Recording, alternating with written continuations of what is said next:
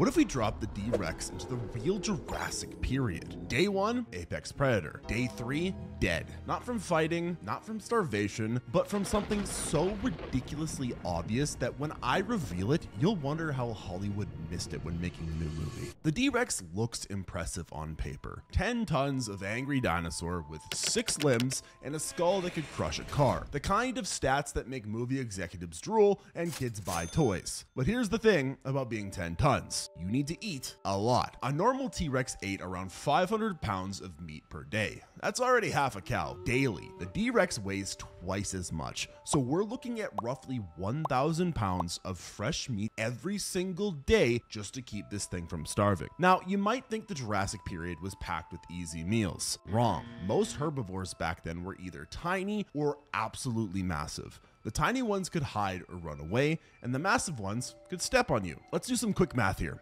The D-Rex needs to kill something the size of a modern horse every day. In the Jurassic, that means hunting Stegosaurus. You know, the ones with four giant spikes on their tails specifically designed to kill predators. The Thagomizer. And while we're talking about the Thagomizer, you should Thagomize the subscribe and like button of this video. So every day, this genetic nightmare has to fight a walking pincushion just to avoid dying of hunger. And that's assuming it wins every fight. The D-Rex also burns extra calories because of its size. Big animals use more energy just existing. Plus, those four extra arms need their own blood supply and muscle maintenance. It's burning fuel faster than a pickup truck with a hole in the gas tank. The math starts to get worse though when you realize hunting success rates. Real predators fail most of the time. Lions succeed maybe 20% of the time. If the D-Rex has similar luck, it needs to attempt 5 kills per day just to eat one. That's 5 stegosaur fights per day, with those tail spikes forever. This is where the movie fantasy crashes into biological reality. The D-Rex isn't just big,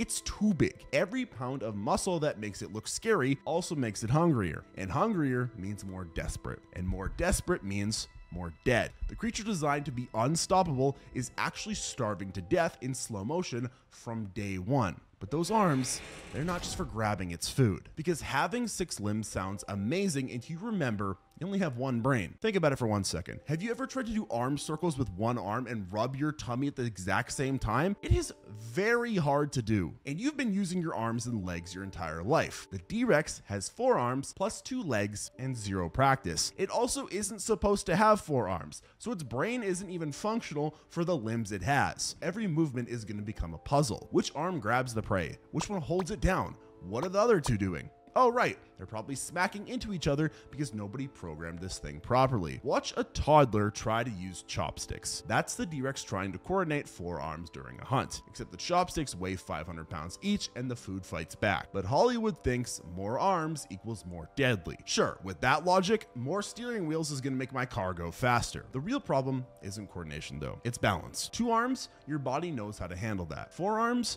your spine has no idea what's happening. Every time this thing tries to grab something heavy, it's basically doing a trust fall with itself. And here is my favorite part. Those middle arms, the ones near its torso, they're completely useless. They're too short to grab anything important and too weak to hunt anything big. They're just flailing around during fights, making the D-Rex look like it's having a seizure. So now it's not just hungry all the time, it's hungry and clumsy. Every hunt turns it into a slapstick routine where a 10 ton monster trips over its own arms while trying to catch dinner. Nature spent millions of years figuring out that two arms worked pretty damn well. The D Rex's designers apparently thought they could improve on this during a weekend brainstorming session. They couldn't. And the result? A creature that punches itself in the face every time it tries to run, which would be funny if it wasn't also supposed to be a killing machine. And speaking of killing machines, wait till you see what happens when it tries to breathe. I'm just gonna say it the T Rex is a head head of a beluga whale stuck on a T Rex body. Or more specifically, its design is inspired by a flowerhorn cichlid. This is a type of fish. Look at its head. Now look at the D Rex's head. Do you see the similarity? Anyways, this isn't just a design choice. This is a medical emergency. Do you see how it has a flat face? That's called bracephaly. I don't know how to pronounce that word, but that's what it kind of sounds like. You know what else has bracephaly? Pugs. And pugs spend half of their lives wheezing and the other half passing out from lack of oxygen. Now imagine a pug that weighs 10 tons and needs to sprint after its prey. The D-Rex's airways are basically crushed shut by its own skull. Every breath is work, hard work, and this thing needs a lot of oxygen because giant muscles burn through air faster than a house fire. But wait, it gets worse. The Jurassic period had less oxygen than today about 15 to 19% instead of our current 21%. That might not sound like much, but when you're already struggling to breathe through a squashed face, every percentage point matters. And I know there's gonna be a lot of people in the comments saying, wait, I thought there was more oxygen in prehistory, not less. And you're kind of right. That was during the Cretaceous. During the Triassic and Jurassic, it was actually lower. So anyways, the D-Rex is essentially trying to run a marathon while breathing through a coffee stirrer in an oxygen poor environment, while also being the size of a small building. After just one chase, this thing would be gasping on the ground.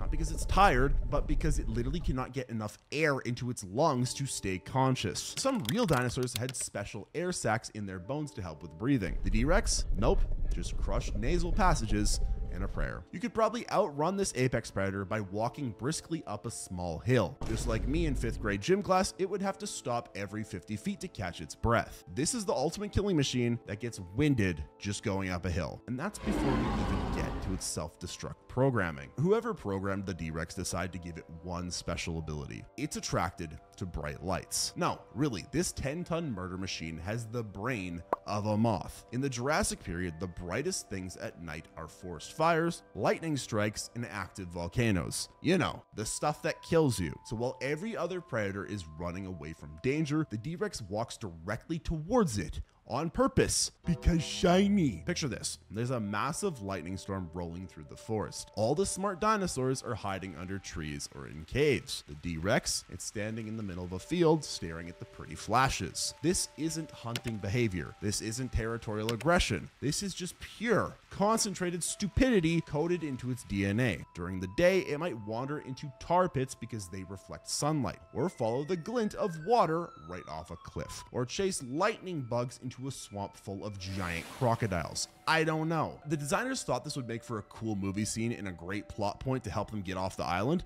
and sure, it does, but in real life, it's a death sentence with legs. Because if you ever put out a bug zapper, do you see how effective those are? They murder entire colonies of insects. Normal predators avoid unnecessary risks. They have survival instincts. The D-Rex has whatever the opposite of survival instincts are called. Self-destruction instincts, death wishes, I don't know. Scientists probably have a fancy word for it, but the simple version is this thing is programmed to kill itself. Every night literally becomes Russian roulette. Will there be a lightning storm? Will something catch fire?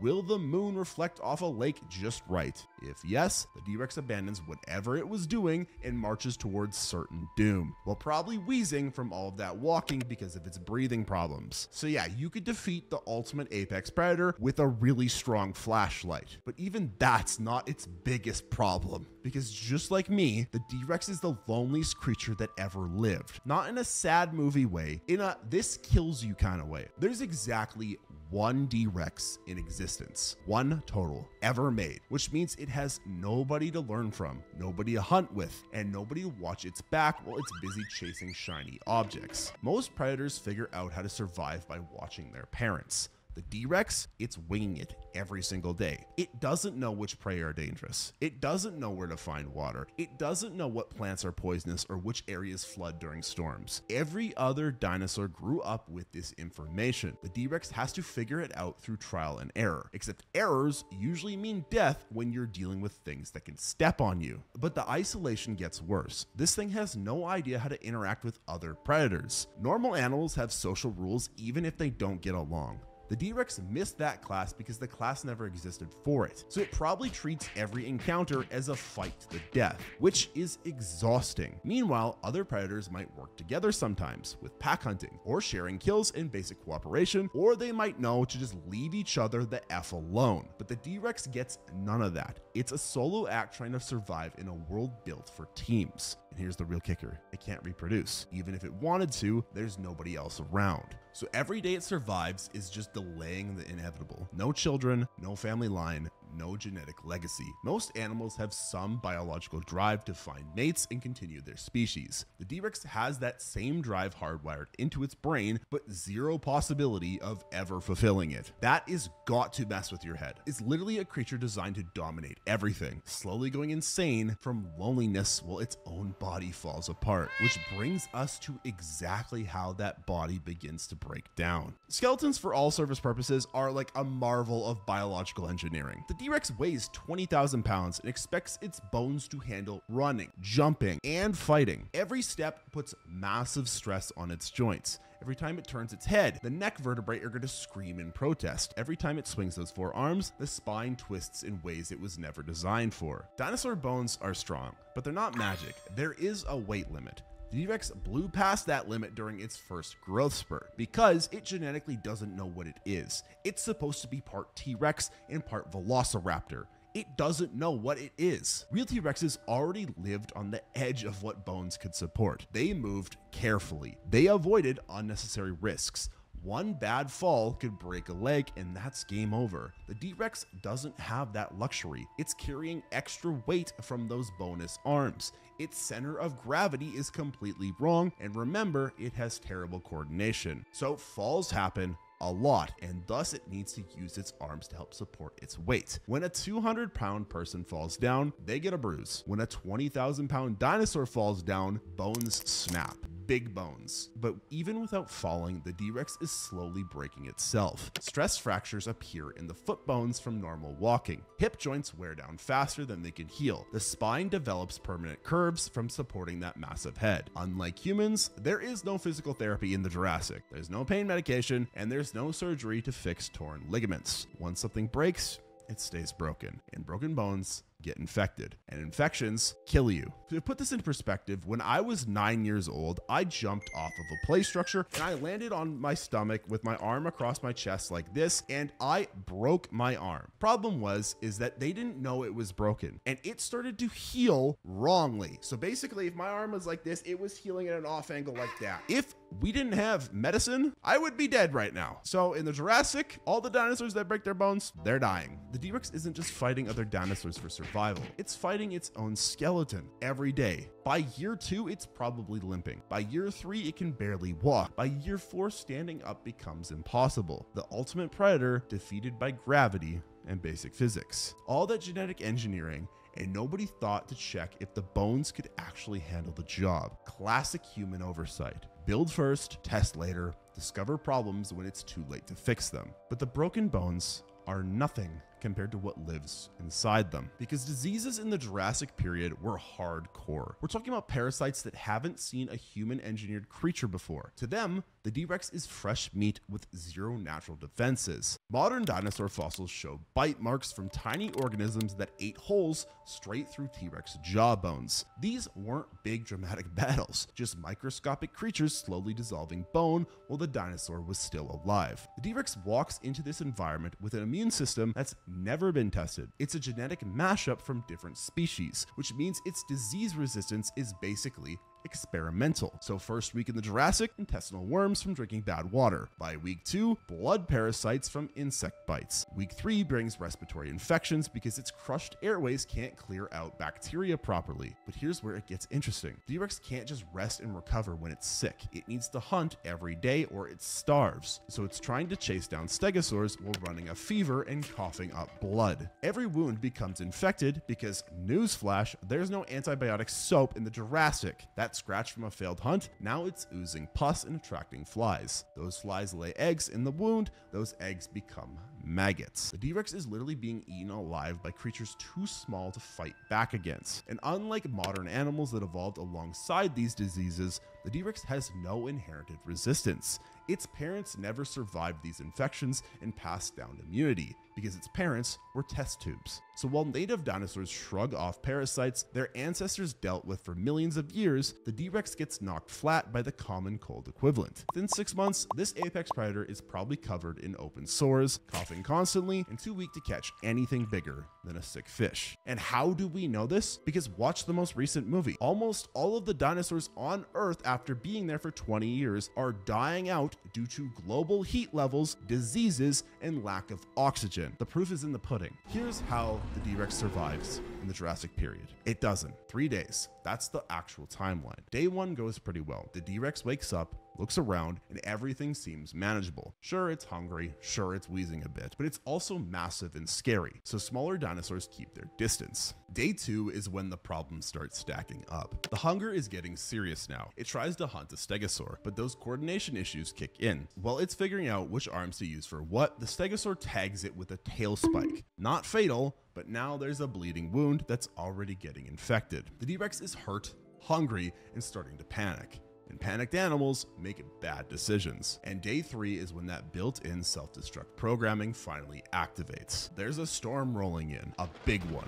The kind that turns the sky black and makes smart animals hide in caves. D Rex sees the lightning. So there it is a 10 pun genetic mistake standing in the middle of an open field during a massive electrical storm staring up at the sky with its tiny eyes, completely mesmerized by the light show. The lightning strikes hit the tallest object in the area, which at the moment happens to be a silly fascinated dinosaur with its head tilted back, probably making happy little dinosaur noises. 10 million volts of electricity coursed through 20,000 pounds of poorly designed monster. Game over.